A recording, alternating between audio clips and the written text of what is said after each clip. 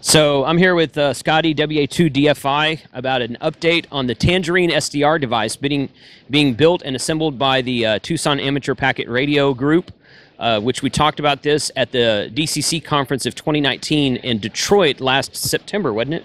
Yeah, September. So um, they're building a personal space weather station out of this uh, Tangerine SDR device, which would do a lot more than that. But uh, we were going to have a working prototype by Hamcation, and just like everything else in the radio world, it's a big hurry up and wait game. So, but you have some boards completed, and some boards are still in production. So just go ahead and tell us what the latest is. The latest is the uh, first board we have completed is the magnetometer module, which is uh, a very sensitive uh, set of three-axis inductors, and uh, we can measure the Earth's magnetic field uh, down to 13 nanoteslas. So, and it has a PMOD uh, interface on it, standard PMOD interface, which is actually we're going to include on the data engine. This is a mock-up of the data engine. Plug in like this, and the unique thing about this is this is designed to be both a remote and a local board. So in this configuration here, it's a remote board because it's got the actual sensor board on it. When this is a purchased piece, the bottom part is the part that we build. And so you put this out in the yard, 100 feet away from your station, and connect it with a piece of Cat5 cable. It's not Ethernet, it's, we're just using Cat5 because it's cheap and available. Okay. And we connect it to another copy of the board, only we don't put a sensor on it. We just leave this part off, restrap it, and it becomes the receiver end and it hooks to the tangerine. Okay. So now we've got a remote magnetometer, which you really need because you can't really uh, measure these fine fields inside your shack with all the electrical appliances going. So we need to be able to place it remotely. So this is a prototype.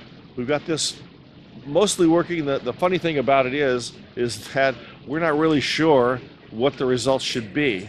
So we can we can read the data, but we're going like, well, is it working or is it not working?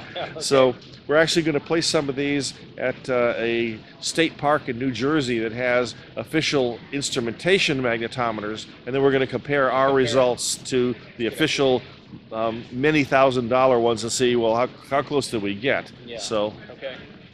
and uh, you've probably seen this from the previous uh, example here. Right now, the uh, RF boards, RF modules on the back, are in layout. So uh, the design is done. They're being worked on now. The, the CAD guy's working on them now. We're in our usual arguments of, well, how many components are going to be on the back and where the, the, the connector placement's pretty much fixed, but everything else is free form. But the, the difficult part is making it, building it without getting interference from all this data all this digital logic on the top board. So we have to make sure we have at least one solid ground plane between the boards, either on the back of the RF module or on the back of the data engine. And there's an awful lot of parts that have to go on the data engine. So we're thinking there's going to be components on the back of it. So now we're arguing over how we're going to keep the solid copper ground plane on the back of the RF module.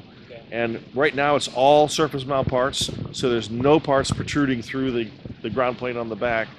But there's some uh, question as to whether the some of the connectors on the front, being surface mount, are not going to be robust enough to handle the load. So we're looking at maybe different connectors, or maybe we'll end up putting some through-hole parts on and uh, RF shield or something to keep them, but to keep the RF out, out, the digital out of the RF. But as you can see, we don't have much space between the boards, so it's, it's going to be pretty tight. And again, we part of the delays we have is it's been evolving since Right. the, the last time we met. Right. And also, we can't really proceed with the RF board and make a physical board until we at least have the layout of the other boards because if something were to change and we misjudge something, the components don't fit, the connectors, I say my CAD guy says he doesn't have enough room in here to do the routing around the FPGA, we got to make the board bigger, then it affects the RF module, so we have to adjust that. So I'd prefer not to build anything and then throw it away.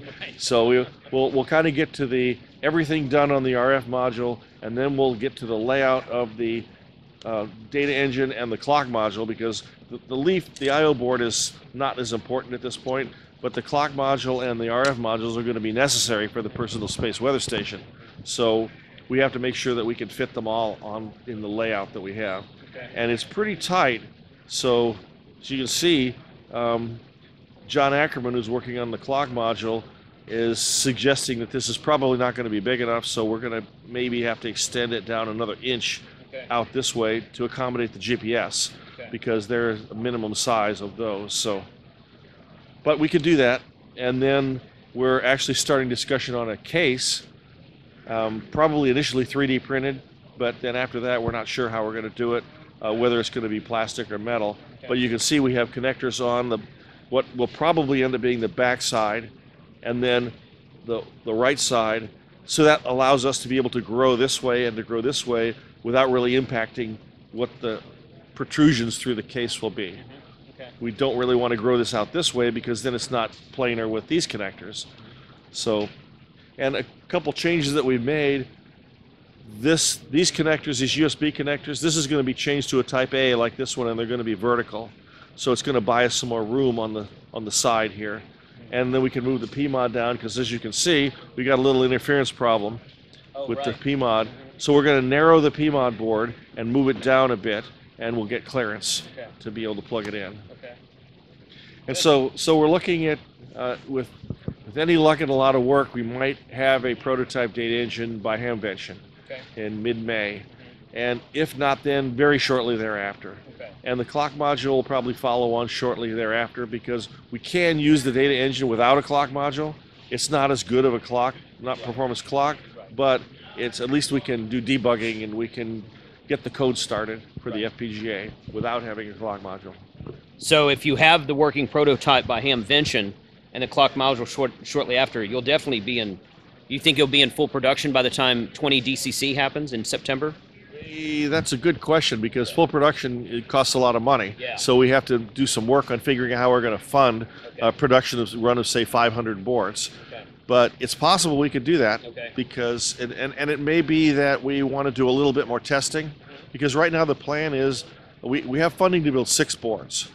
Okay. But the plan really is we want 20 to 25 boards. So if we can secure some funding to build the extra prototypes, eh, we can distribute them amongst contributors and we'll see how the development goes because really the users want to buy something it does something. Right. So if it without code it's just a doorstop. So we Yeah. we'd like it to be functional and so that that may be the, the gating factor because I can't really, in good faith, sell it to somebody and say, well, you know, wait another six months for the code to come out and we promise you it'll do something. Right. Yeah. So we'd really rather have it doing something right away. Sure. Yeah. Okay. Good. Well, I know that uh, when I put up the first um, kind of the introduction to the Tangerine SDR uh, that you and I did at, at the DCC last year, um, I put that on QRZ. After I after I uploaded it to YouTube, I put a link on QRZ, and it just got it got it got dogpiled because everybody was like, "Oh wow, a new uh, SDR something something." Everybody's really excited about it. So I know there's a lot of people watching for it and looking forward to it, and myself. I don't understand only about 20% of what it does. So, but but I'm still looking forward to it, and people smarter than me are too. So, Pretty good reception here. We had lots of people come up and say they can't wait to, to get a copy because it's doing something now that no other SDR will do. right. So Good. Okay. Well, Scotty, thank you very much for the time. Right. I look forward you. to ca- catching up with you at Hamvention and, then of course, DCC 2020. All right. Good deal. Okay. As, a, as another follow up to the Tangerine SDR project put on by the Tucson Amateur Packet Radio Group, I'm here with Bill Engelke, AB4EJ, and they printed the wrong call sign on his vendor badge. So I got I got to remember that. But this the program, too. Right, right. Okay, okay. So uh, so this is now correct me if I'm wrong. This is an example which will evolve later of the web-based interface that'll control the Tangerine SDR once it's in production. Right. Okay. Yeah. The way we're doing this is the Tangerine SDR includes a, uh soft, uh, it's a small computer, like a single board computer, and uh, that's used to control the data engine. The two of them together make the Tangerine SDR.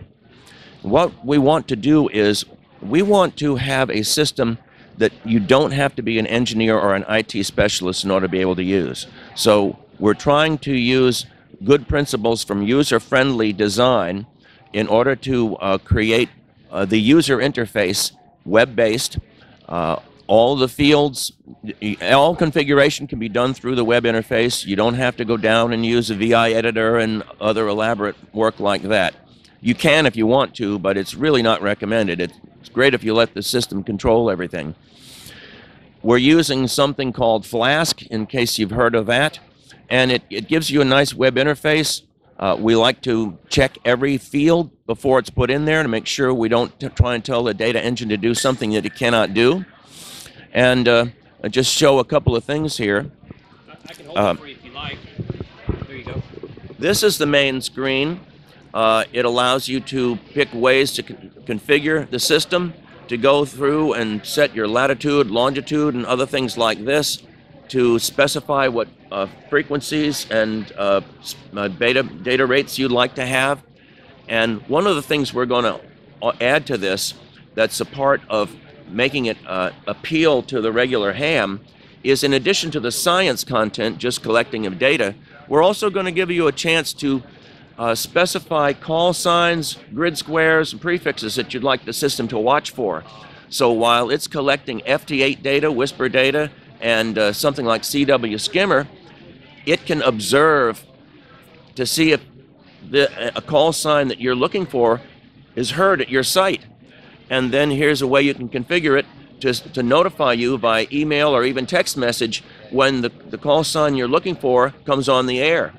So this will be able to run concurrently with data collection for science input. So that's the basic principle of it. That's excellent. Okay, good. Well, I, I, and like I told Scotty a minute ago, I know a lot of people are looking forward to this. So it's good to see kind of like um, what the end user interface will look like, or at least be able to do. And you've got FT8 down here right now. So you're monitoring, or this is probably a mock-up, but you're monitoring FT8, and this is the results that you're seeing down here. So people are, and I know there's a lot of people that use FT8 right now, so that, that kind of can something people can relate to. Oh yeah, uh, and we have the ability to also add some analytics. This is an early prototype, so that's not in here. But we can do things like show you what parts of the world your system has been hearing uh, in the last hour, the last 15 minutes, the last 24 hours. Now, PSK Reporter gives you this too. But we'll have the ability to send data from this to PSK Reporter also. Well, great. This is, uh, like I said, this is an exciting project. I know a lot of people are looking forward to it, and uh, I'm glad that I was able to sit down with you guys during this. So we'll see what it looks like uh, come May in Hamvention, and then, of course, at the DCC in 2020. So thanks, Bill. Absolutely. Appreciate it, man. All right, have a good one.